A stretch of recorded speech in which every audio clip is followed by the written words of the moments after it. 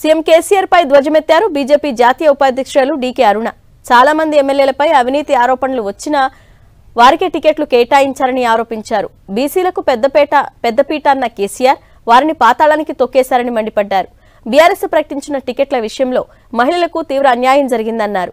మహిళలకు ముప్పై మూడు శాతం రిజర్వేషన్లు కావాలని ఢిల్లీకి వెళ్ళిన కవిత ఇక్కడ ఎందుకు కేసీఆర్ను ప్రశ్నించడం లేదన్నారు.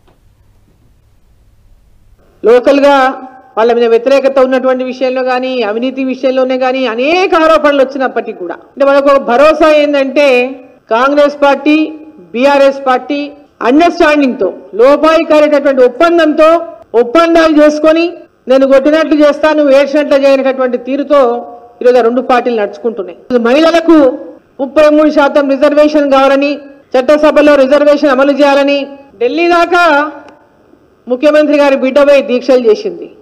మరి ఎందుకు పాపం వాళ్ళ నాయనను అడగలేకపోతా ఉంది ఈమె?